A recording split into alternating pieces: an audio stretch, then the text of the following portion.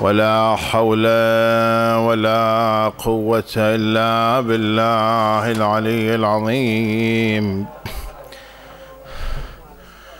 إنا لله وإنا إليه راجعون. وأفوض أمري إلى الله. إن الله بصير بالعباد. صلى الله عليك يا رسول الله وعلى أهل بيتك الطيبين الطاهرين. صلى الله عليك يا أبا عبد الله. صلى الله عليك يا ابن رسول الله. صلى الله عليك وعلى ابنك زين العابدين وسيد الساجدين. وقرة عين الناظرين.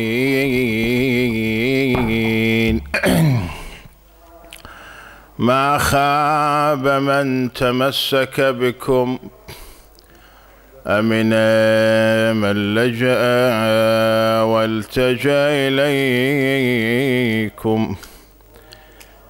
يا ليتنا كنا معكم سيدي فنفوز والله فوزا عظيما.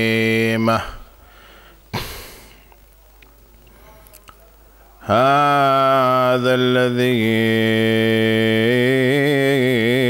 تعرف البطحاء وطأته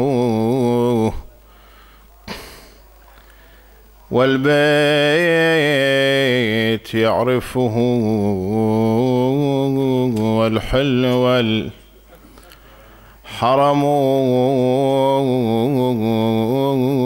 هذا ابن خير عباد الله كلهم هذا النقي التقي الطاهر العلم. إذا رأته قريش قال قائلها إلى مكارم هذا ينتهي الكرم يكاد يمسكه عرفان راحته ركن الحطيم. إذا ما جاء يستلم مقدم بعد ذكر الله ذكرهم في كل بدء ومختوم به كلم وليس قولك من هذا بظائره العرب تعرف من أنكرت. والعجم هذا ابن فاطمة إن كنت جاهله بجده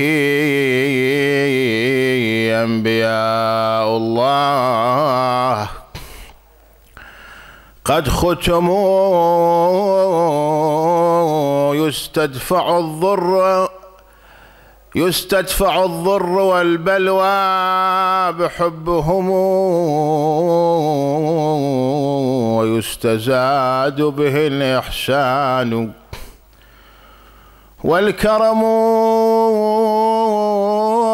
وإن عد أهل التقى كانوا أئمتهم.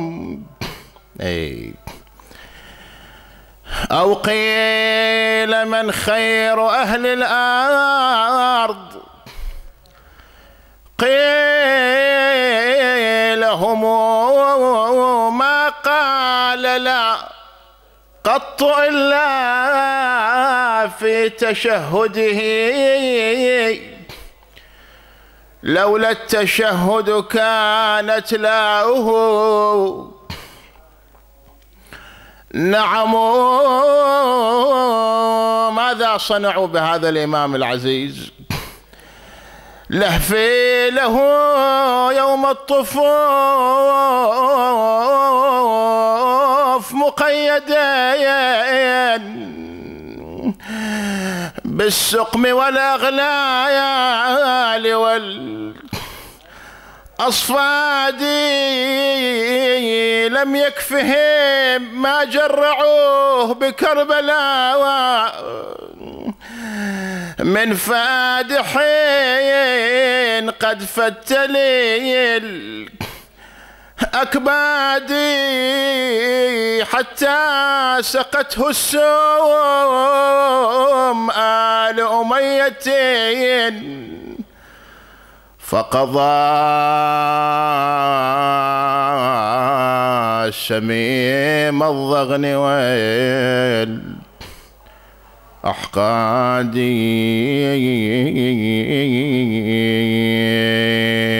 لا حول ولا قوة إلا بالله. العلي العظيم. إنا لله وإنا إليه راجعون. الحديث هذه الليلة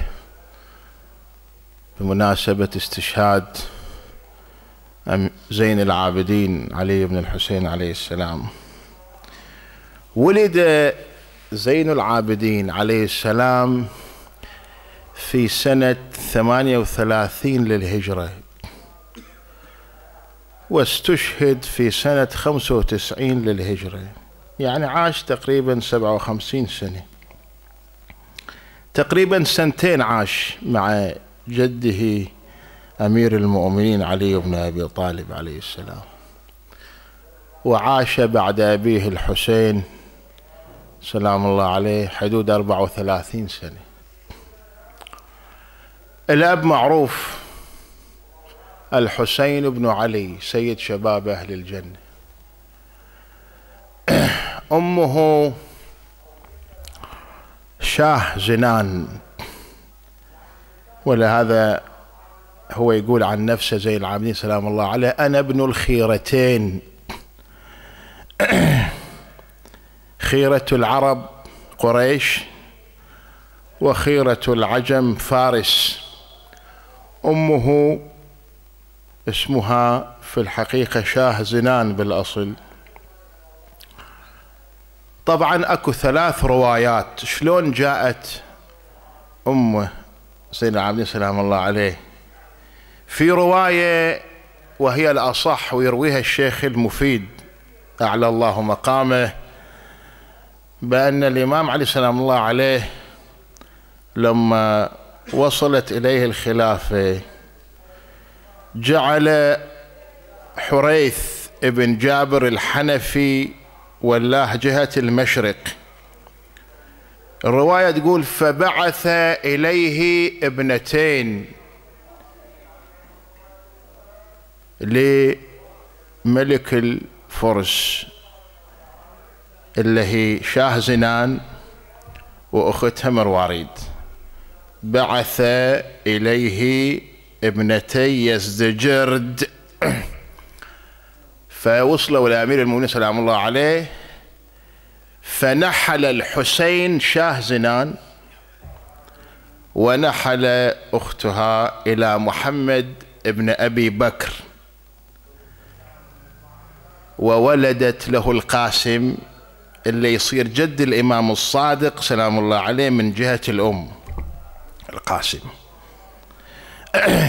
هذه رواية وهذه الأصح في الحقيقة والواقع. رواية ثانية لا.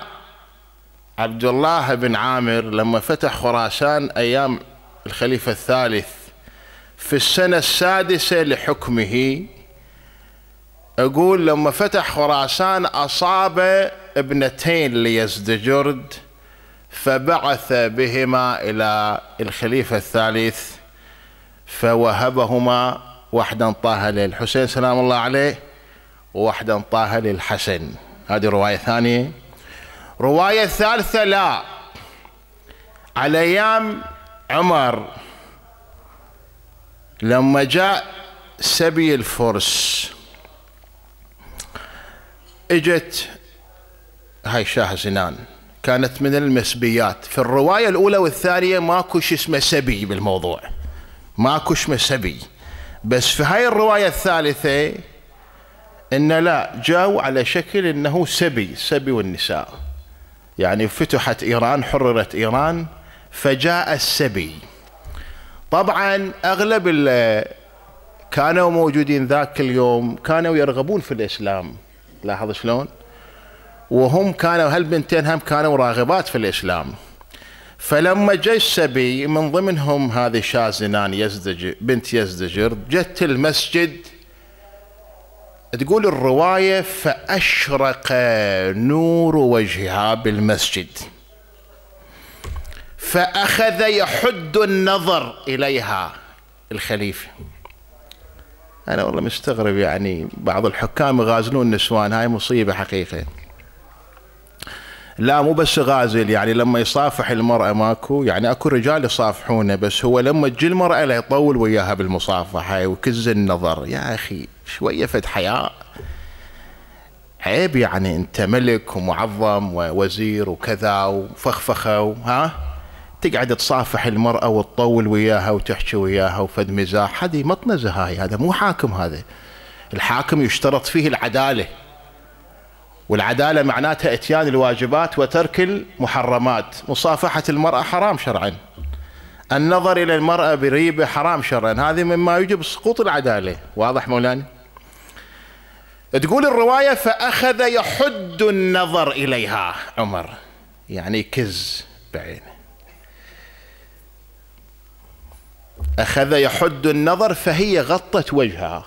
شوف هاي دليل العفة دليل الشرف. واضح مولانا؟ فغطت وجهها. فقالت آه بيروزة باد هرمز بالفارسية. يعني بمعنى أنه لا كان ذاك اليوم لهرمز ويرى بناته سبايا بالفارسية. فعمر شنو حللها؟ قال لقد شمتتني أو شتمتني هذه العلجة.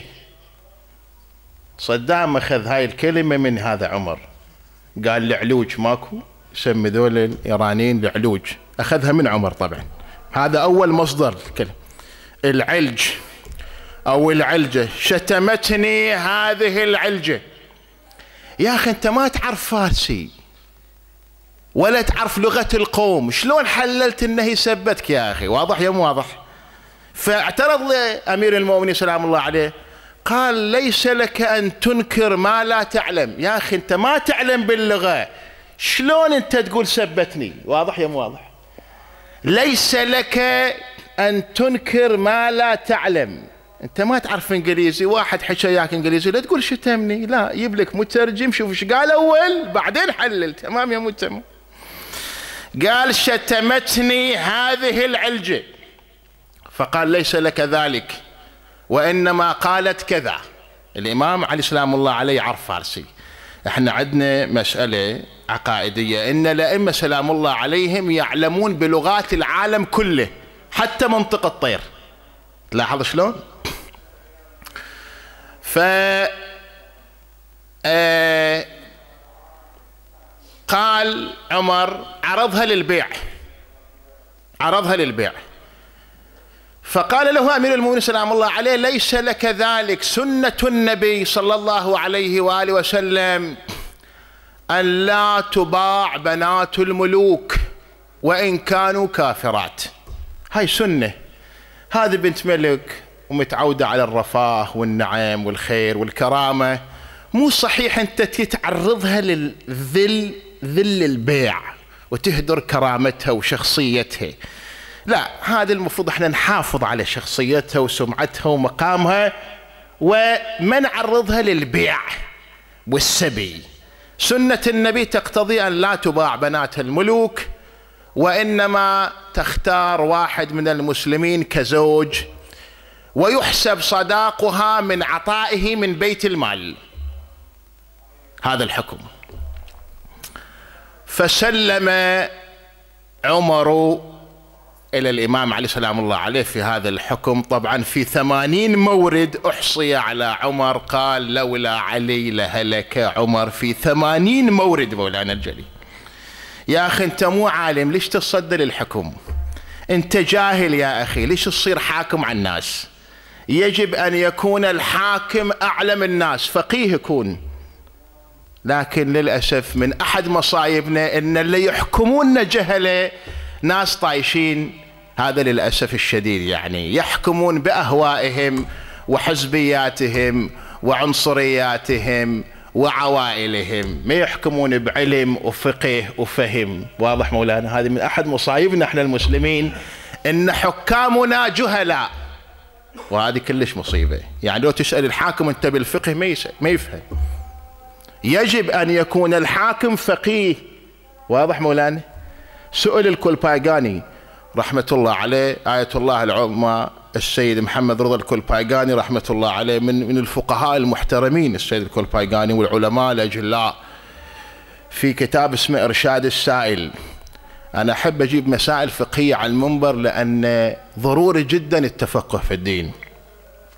سئل الكولبايغاني رحمة الله عليه إذا تصدى للأمة حاكم ولنفترض أنه عادل وطيب وخير يعني. بس ليس فقيه. هل تجب إطاعته أم لا؟ المصدر موجود. إرشاد السائل للسيد محمد رضا الكرباغاني رحمة الله عليه. هل تجب إطاعته؟ قال لا. لا تجب إطاعته لأن الطاعة يجب أن تكون للفقيه العادل. حتى لو تصدى للحكومة واحد. عادل نفترض بس ليس فقيه. فلا تجب طاعته هاي مسألة شرعية. على كل ف آه، كانوا ناس كثيرون يبون يتزوجونها. ف الإمام سلام الله عليه قال لي يصير هناك إكراه في البين خله هي تختار. هذا أقرب لكرامتها وأفضل للعدل. فاختارت الحسين سلام الله عليه كزوج. تزوجها الحسين سلام الله عليه الإمام علي سلام الله عليه قال للحسين قال ستلد لك خير أهل الأرض. هذه أول كلمة للإمام سلام الله عليه في بيان مقام زين العابدين سلام الله عليه. قال ستلد لك خير أهل الأرض. على كل تزوجها الحسين ولدت بزين العابدين سلام الله عليه. أصح الروايات أنه كانت متى؟ على أيام حريث بن جابر. لأن أيام السبي صارت متى أيام عمر؟ صارت في 16 للهجرة. خب زين العابدين ولد 38 للهجرة. ما يصير هنا 23 سنة يعني بقت هذه المرأة غير حامل مشكل. ما مقبول الرواية هاي. فالأصح أن هي الرواية الأولى يعني جاءت على زمن الإمام علي سلام الله عليه لأن عاش زين العابدين سنتين خلال خلافة أمير المؤمنين سلام الله عليه. فالرواية الأولى هي الأصح بالحقيقة والواقع. هذه مسألته على كل ولد زين العابدين سلام الله عليه ستلد لك خير أهل الأرض. أم زين العابدين سلام الله عليه الإمام علي غير اسمها. قال له شنام داري كنيزك؟ يعني ماذا اسمك يا صبية؟ فقالت جهان شاه. أو شاه زنان في الحقيقة يعني أنا اسمي ملكة النساء. فقال لها لا أنت اسمك شهربانوي يعني أنت ملكة نساء المدينة. ليش؟ لأن الإمام سلام الله عليه يريد يدفع ذا التوهم أن ملكة نساء العالم هي فاطمة الزهراء سلام الله عليها حيث قال النبي صلى الله عليه وآله وسلم إن فاطمة سيدة نساء العالمين من الأولين والآخرين فهي ما ممكن أن نقبل أن تكون ملكة النساء وإنما ملكة المدينة لأن سيدة نساء المدينة في السهل. الأم شهربانوي طبعا في روايات أخرى أنها بدلها إلى اسم مريم. طبعا ماتت في النفاس. يعني لما ولدت بزين العابدين سلام الله عليه ماتت في النفاس. لهذا أكو مسألة يطرحوها آه، خصوصا من قبل عبد الملك بن مروان.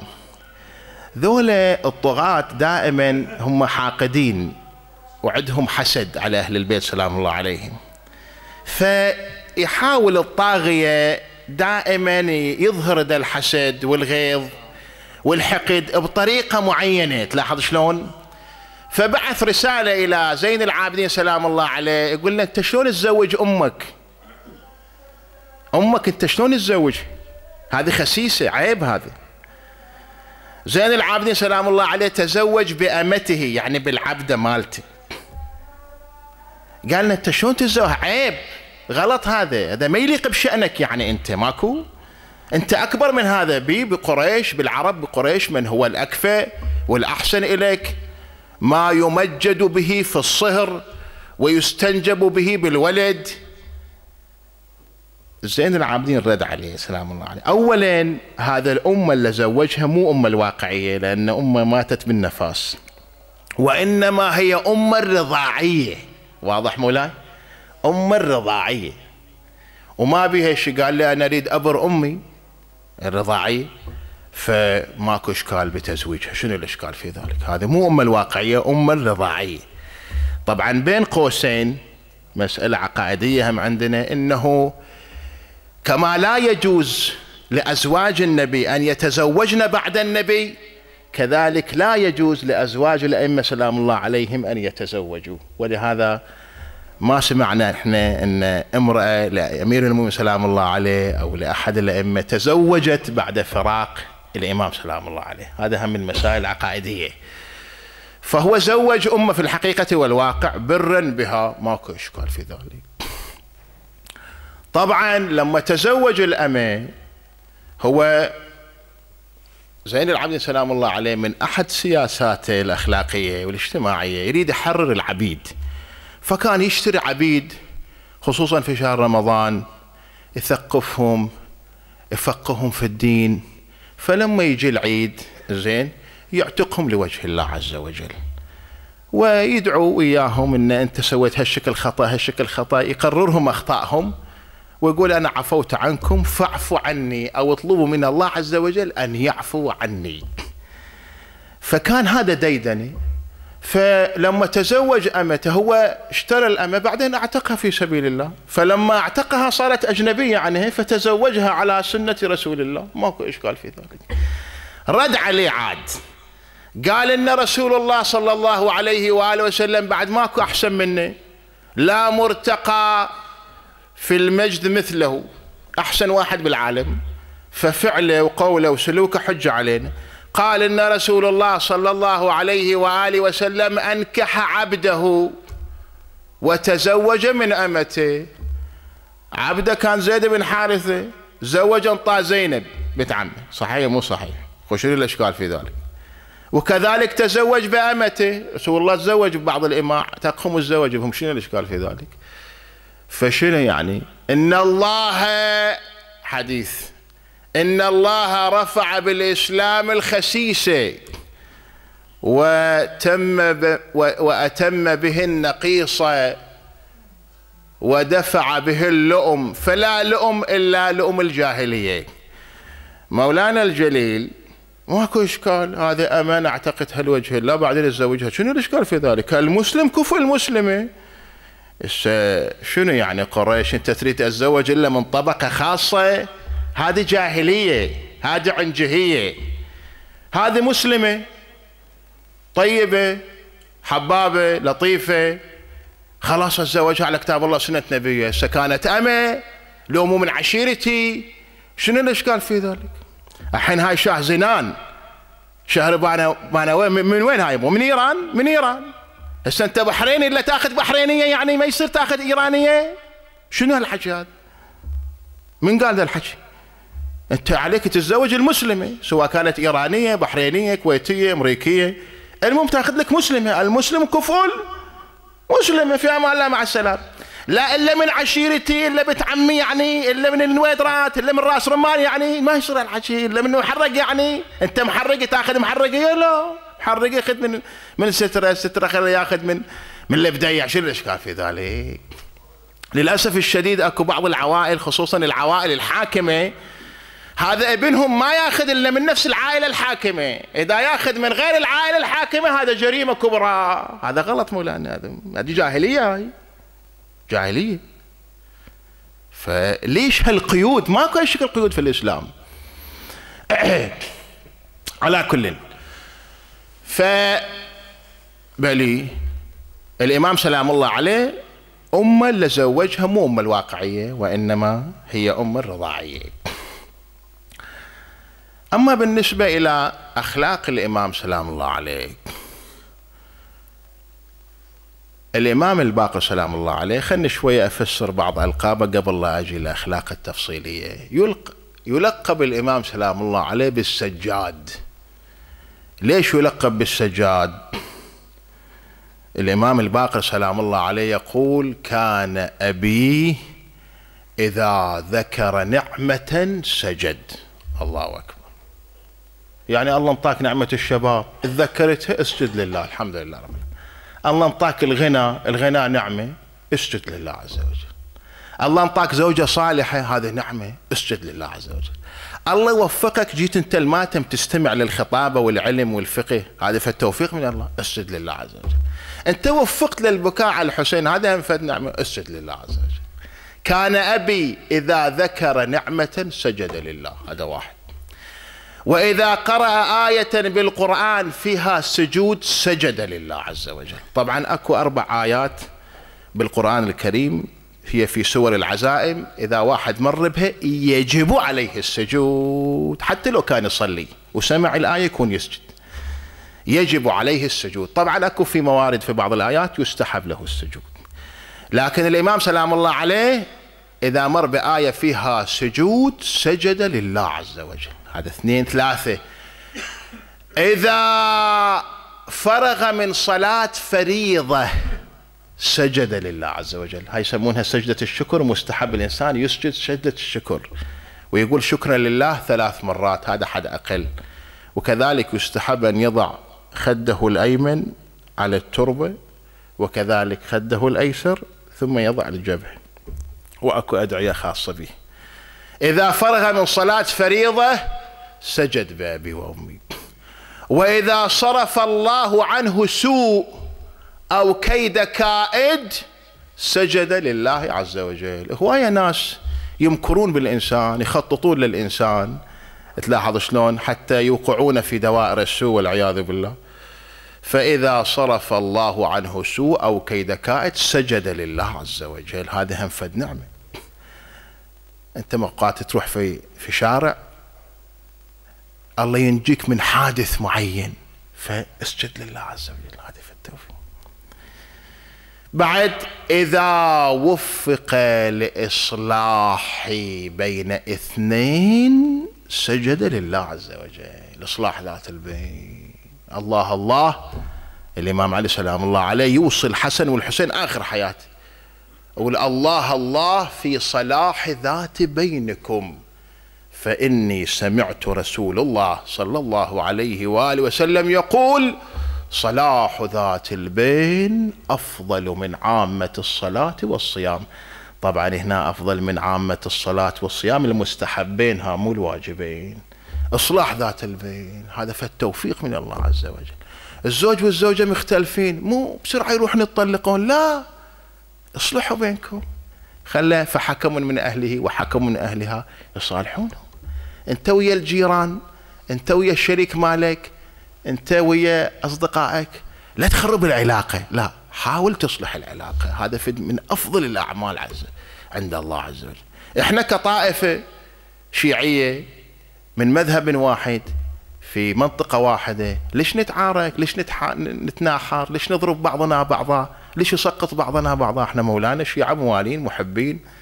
لازم نتوحد لازم نتآلف لازم نجمع نقاط القوة بيناتنا. صحيح ولا صح؟ فالواحد ولا تنازعوا فتفشلوا وتذهب ريحكم.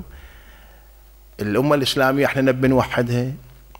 فإحنا قاعدين ندور نقاط مشتركة يسنا حتى نتحد إياهم.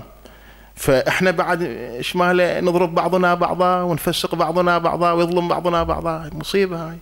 نصير يعني مطنا زين الأعداء في الحقيقة والواقع.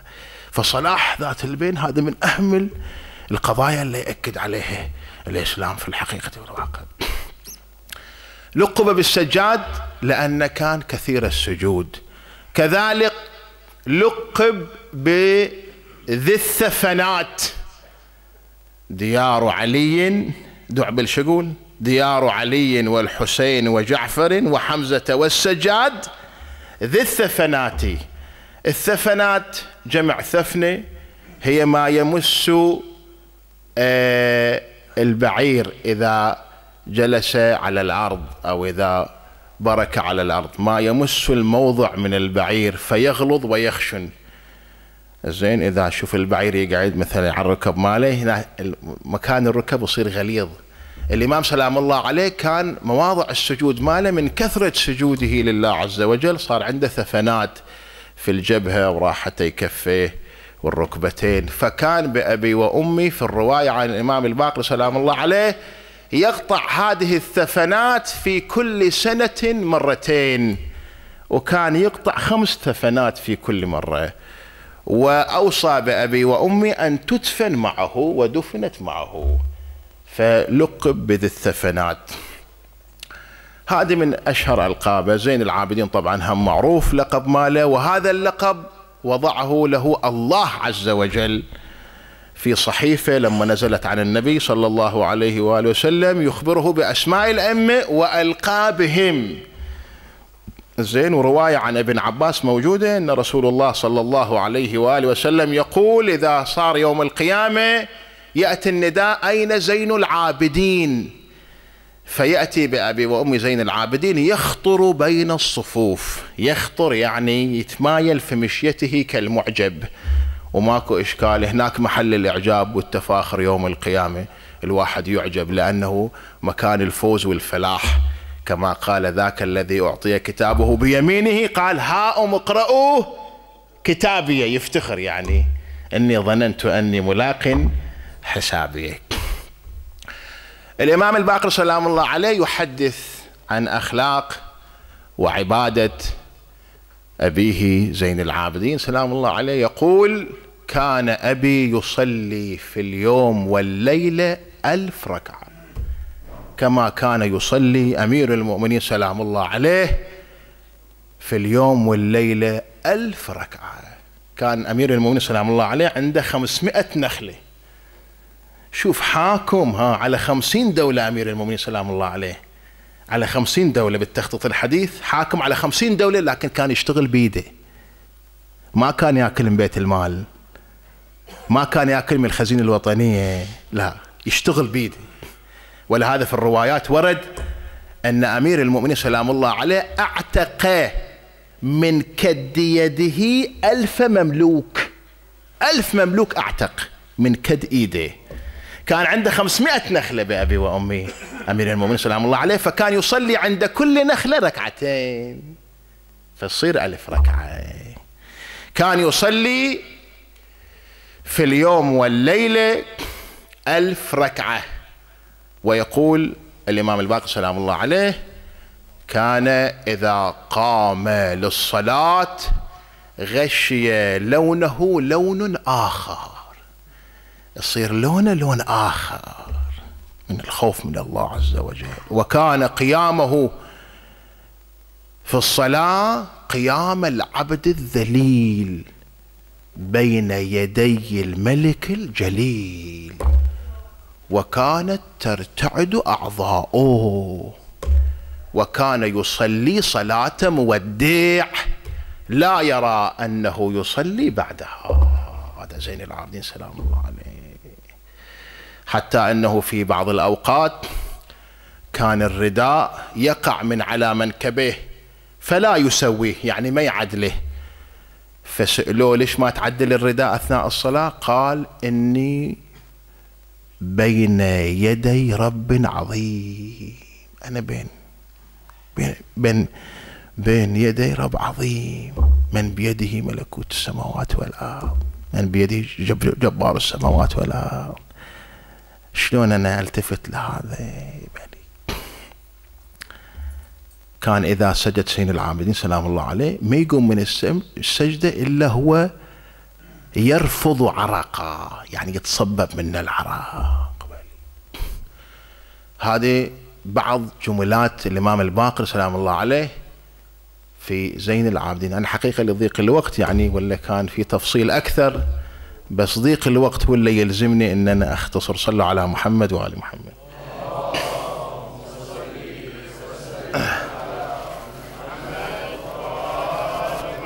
كان سلام الله عليه.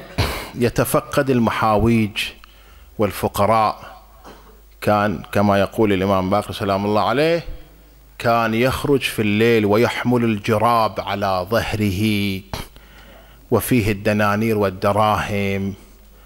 وكان بعض أوقات فيه طعام أو حطب فيناول الفقراء فردا فردا يقرع الباب بابا بابا ويناولهم.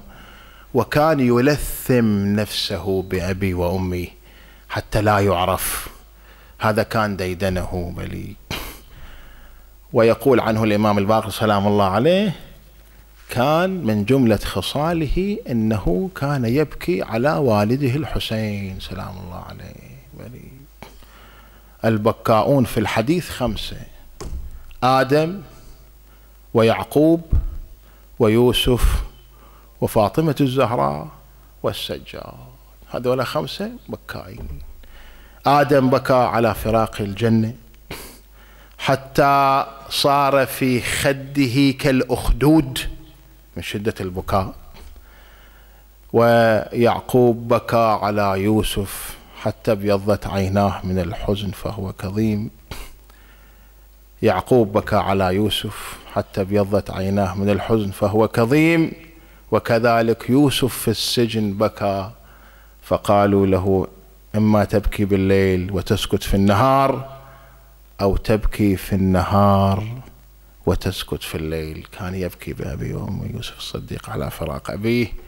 كذلك الزهراء سلام الله عليها كانت تبكي على فراق أبيها. في الرواية كانت معصبة الرأس الزهراء سلام الله عليها. في الرواية معصبة الرأس من أثر اللطمة التي لطمها عمر. رواية أنه لطمها على وجهها. على أثر اللطمة سقط القرط من إذنها هذه رواية موجودة. فكانت معصبة الرأس على أثر الآلام التي حصلت عليها من هذه اللطمة. كانت معصبة الرأس منهدة الركن يخشى عليها ساعة بعد ساعة في الرواية وتأذى أهل المدينة من بكائها. فقالوا لأمير المؤمنين سلام الله عليه إحنا ما نتحمل الزهراء تبكي حقيقة. بلي فبنى لها بيت بيت الأحزان في البقية فكانت تذهب إلى بيت الأحزان وتبكي هنا. هاي الزهراء سلام الله عليها. أما السجاد فكان يبكي على مصيبة الحسين سلام الله عليه بلي. يقولون عشرين سنة أربعين سنة. بعض الروايات خمسة وعشرين سنة بل طول العمر يعني هو بقى بعد أبيه أربعة وثلاثين سنة. بلي بعد أبيه. بلي فكان يبكي أبي وأمي على الحسين سلام الله عليه. ما يقدم له طعام إلا ومزجه بدموع عينيه ما قدم له شراب إلا ومزجه بدموع عينيه يقول كيف أشرب وقتل أبي الحسين ضمانا. يشوف أبو حمزة الثمالي أقول له سيدي القتل لكم عادة. وكرامتكم من الله الشهادة. ليش أنتم هذا؟ ما منا إلا مسموم أو مقتول. هذا طبيعي بالنسبة لكم. قال له يا شبل المصطفى ورب السيادة صار القتل ليكم يا أهل البيت عادة وانتو كرامتكم من الله الشهادة. معود على كثر المصايب يا ابن الأنجاب. إيش قال له زين العابدين سلام الله عليه قال له صحيح شكر الله سعيك يا أبا حمزة. صحيح إن القتل لنا عاد وكرامتنا من الله الشهادة. ولكن يا أبا حمزة هل سمعت أذناك أو رأت عيناك أن سبي النساء لنا عاده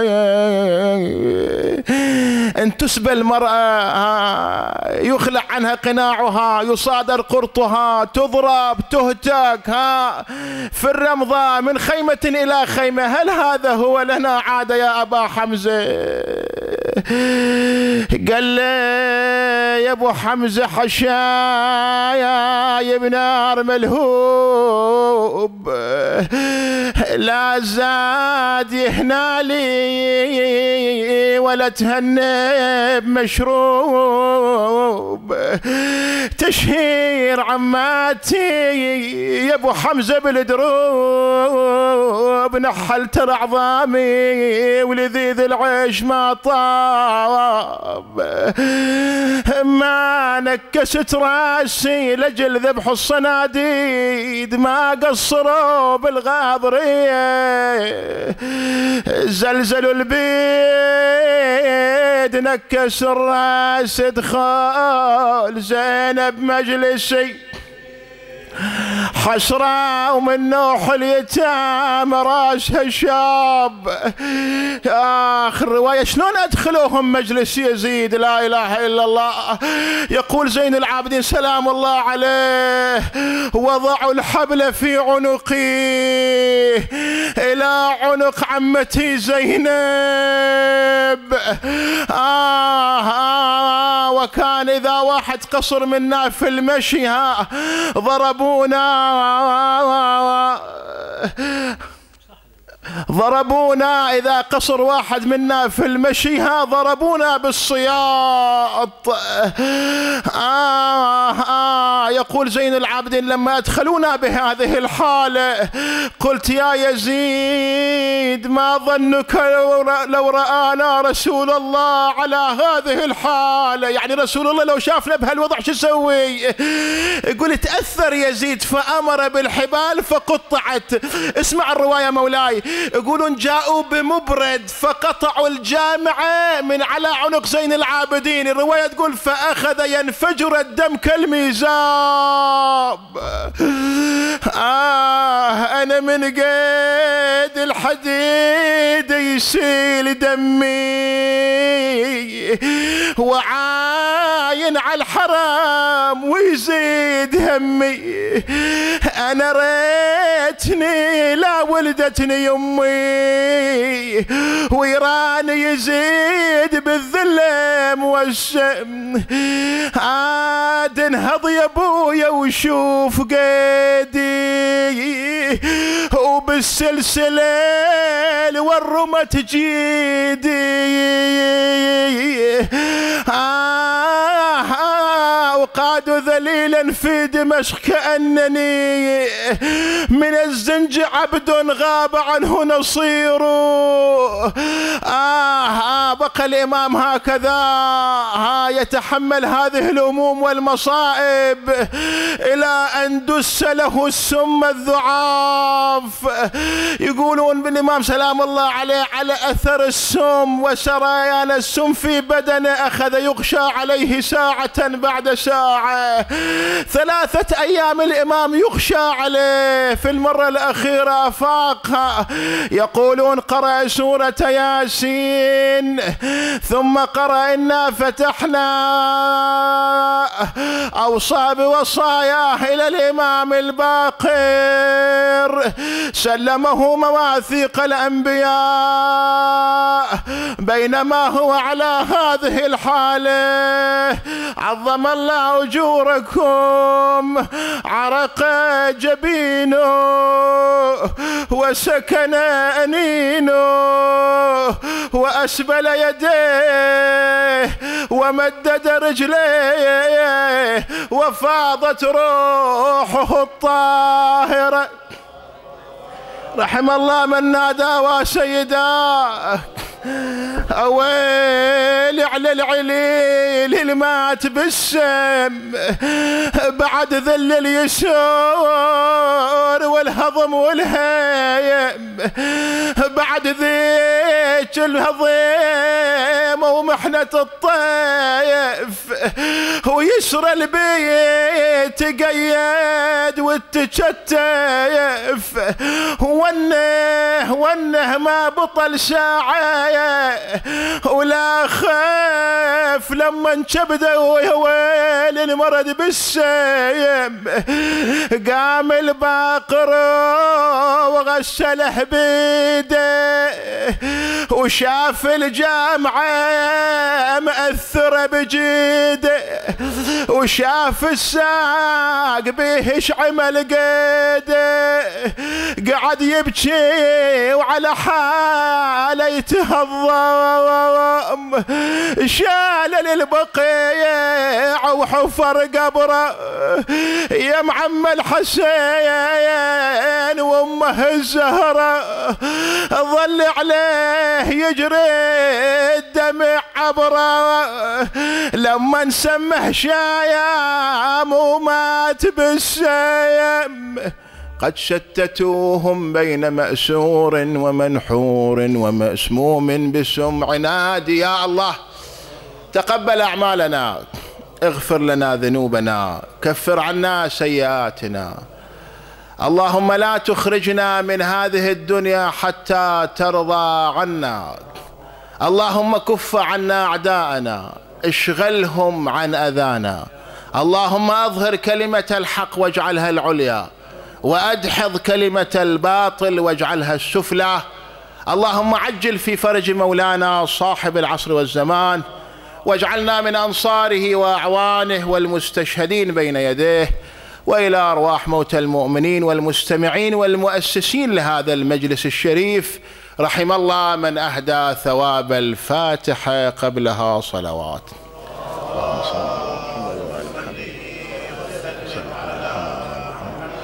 بسم الله الرحمن الرحيم